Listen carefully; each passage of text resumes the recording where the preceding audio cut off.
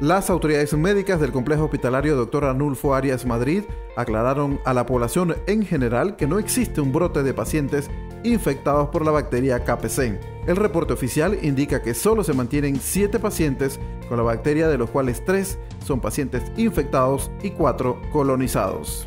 Nosotros ya pasamos de una epidemia que fue en el 2011 a una endemia, lo que significa que la bacteria va a estar dispersa en muchos lugares y en cualquier hospital puede aparecer.